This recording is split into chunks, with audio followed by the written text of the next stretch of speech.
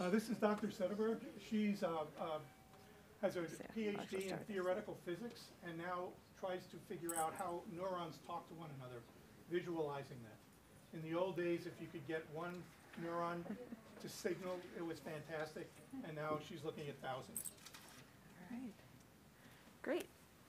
Well, I'm really excited to um, be here and talk to you all today. Uh, but before I get to my um, research, I just wanted to say a few words about my path to get here. I'm actually from Duluth, Minnesota, so for those of you who spent two hours on a bus getting down here this morning, I've been in your seat.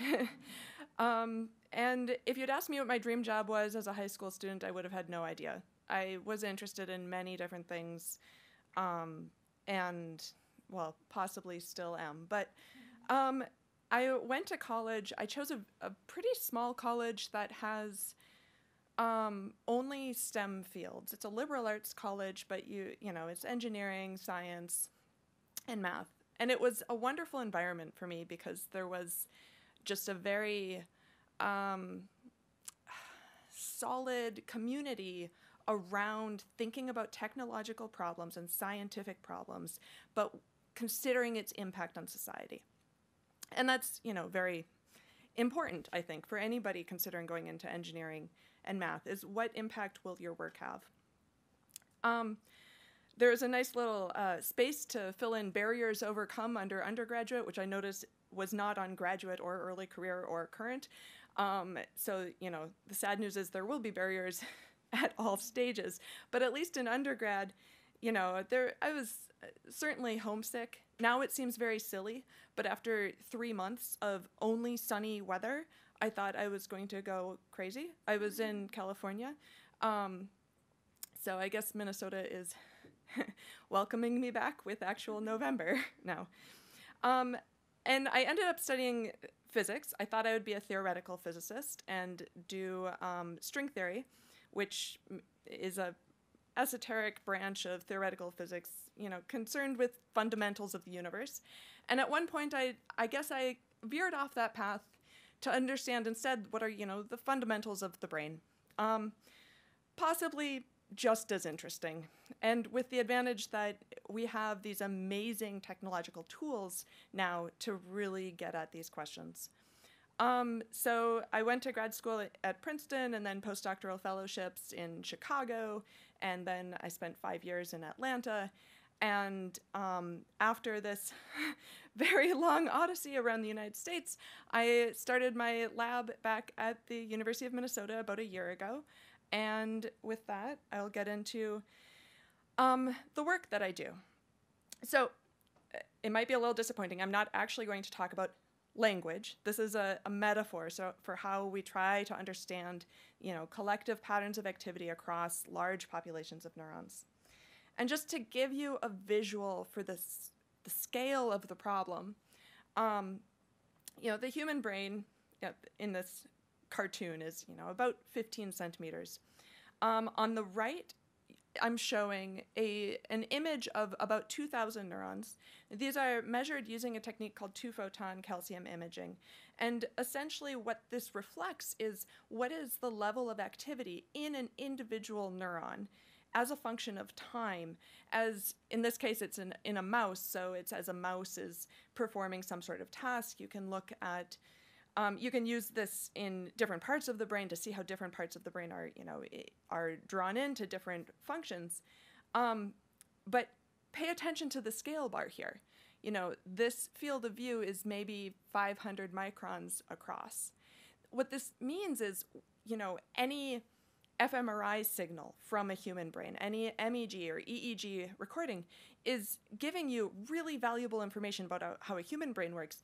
But at this fine spatial level underlying it, you have thousands of neurons acting in concert together, interacting.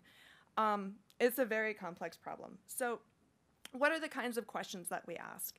And I want to kind of go with this metaphor of language because sometimes mathematical models can be a little bit, you know, dry to explain.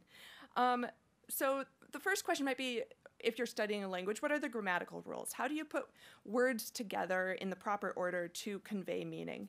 Similarly, in neural activity, how how are dynamics across large populations organized? How are they organized across different brain areas? Um, drilling down a little deeper, what are the words of neural activity? So when you can read out the activity of every single neuron in a local area, you can very precisely decode what information is represented in that pattern. This is not dissimilar from, you know, looking at words in, you know, a, a book in a foreign language that you don't know and trying to decode, you know, what does that particular word mean? How does it relate to something in the outside world or an idea? Um, and then drilling down even deeper, what are the letters? How do you put together letters that, that form a word? Now, in you know, in, in English, there will be certain combinations of letters that come together more often than others. So, you know, TH is much more common than, say, TQ. And statistically, you can write down models that capture those relationships. Similarly, you can do that for cells. You can also look at individual cells as you know, what is their particular cell type? What kind of cell is it? At a very gross level, we've known for a long time that there are excitatory neurons, which have a, an impact on downstream cells that causes them to be more active, and inhibitory neurons, which can shut down activity. But now we have far more fine grained views of the particular individual cells. So let me put some, you know, more specific biological pictures to this. Um, this plot on the, the right here with all the, well, the one on the left, but on the right side of the screen with all the colors um, is showing a representation of patterns of gene expression across individual cells. So at this resolution, you may not be able to see it, but this is actually a scatter plot, a dot plot of about 20,000 neurons, and they've been clustered according to similar patterns of gene expression. And these different groups of cells are neurons that really have different types. They, they act in different ways, they connect to other cells in specific ways.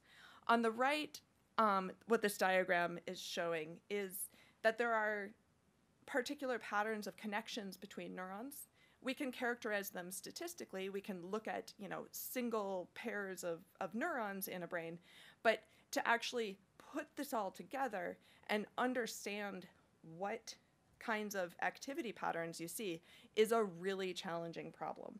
So fundamentally what I work on is how do you connect structure, how do you connect these structural details up to patterns of activity across large populations of neurons.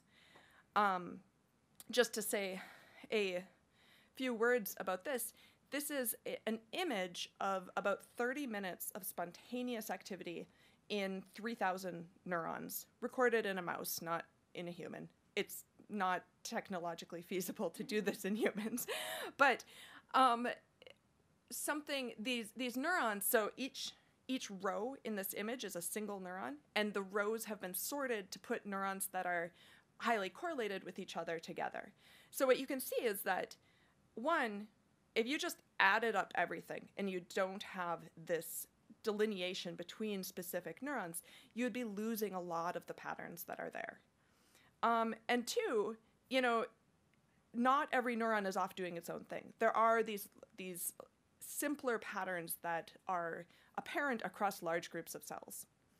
And so how do we go about this, you know, being able to look at a circuit in terms of you know what are its patterns of connectivity? What are the cells that make it that make it up to and like what are the important details of that? What aspects of that are actually important to governing these patterns of spiking activity that we can observe in local populations? And this is where we have you know a very strong role for computational models. So we can use models to really test our intuition for what impact specific network structure will have on dynamics um, it, you can make your model more and more complicated and see how that changes the emergent um, properties of activity. You can also use modeling, we also use modeling approaches to understand and interpret the patterns in the, the network dynamics that we observe and to glean from that information about how the brain works. Um, and so, you know, clearly today we don't have time to um, derive these equations, but what I can show you is what are the kinds of activity patterns that come out of this equation. This equation might look a little bit, you know, yucky and, and complicated. The but the number of terms in it is extremely small compared to you know 3000 neurons right there's uh, a term there with three different letters in it term there with you know four or so okay so each of those is a different parameter that we have to determine and control and decide how it's going to evolve but there's maybe 10 decisions that we put into this model how close can we get to understanding what thousands of neurons are doing this is an image of spiking activity generated under this model. Now, of course, it looks a little bit, you know, noisy and not very organized, but we can analyze it in the same way that the, you know, brain activity from the mouse brain was analyzed. And when you start to cluster things, you can see that, yeah, there are groups of neurons. This model can explain why you have groups of coactive neurons. Of course, looks like the data is not a very precise way of comparing, but we can develop better and more precise comparisons of the structure in our model versus structure in real life. And at the end of the day, what we're trying to find is what is the right grammar that we need in this model to understand the structures that unfold in data. Um, and you know why do we care about all of this from a medical perspective now when you consider that like um, the activity patterns underlying the finest resolution measurements that you can make in a human brain probably comprise thousands or tens of thousands of neurons.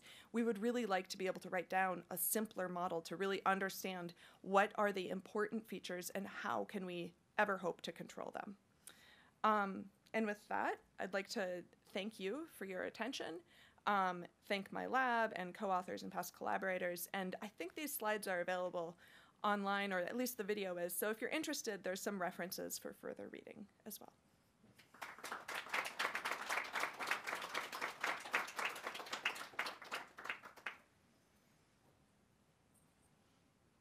Are there any questions for Dr. Sederberg?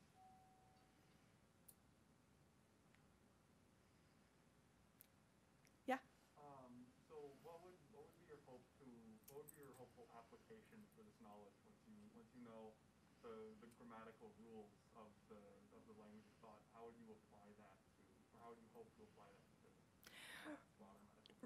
Right. So, you know, the first step really is understanding what is a, a normal structure. You know, what what do you expect to observe in functioning in a, a, a network that is not suffering from a, a disorder?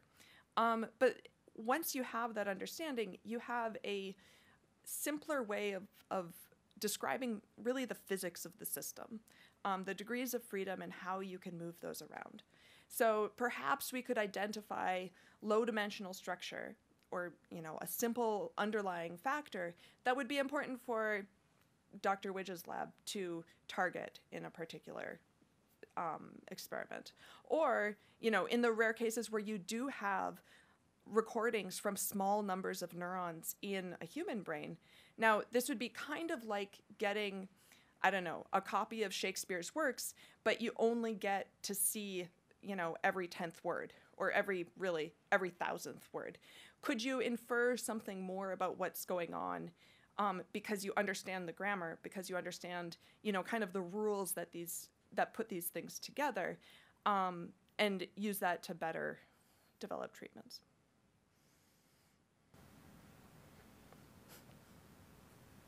All right. Basic research underlies all of our advances in medicine. You can almost think of it as a, like an iceberg, and the tip of the iceberg is what clinicians can use in the in the, in the hospital or in the office to treat a patient. But it's supported by this massive structure that you don't see, and that's all this sort of basic research that is being described. And so that's the importance of, of doing that. All right. Thank you very much. Thank you.